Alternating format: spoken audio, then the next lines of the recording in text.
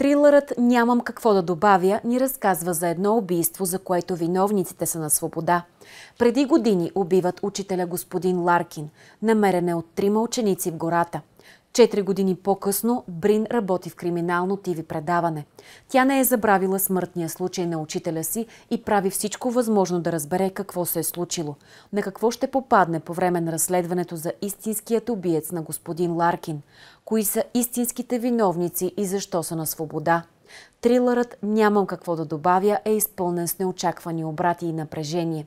Една история за търсенето на истината и справедливостта.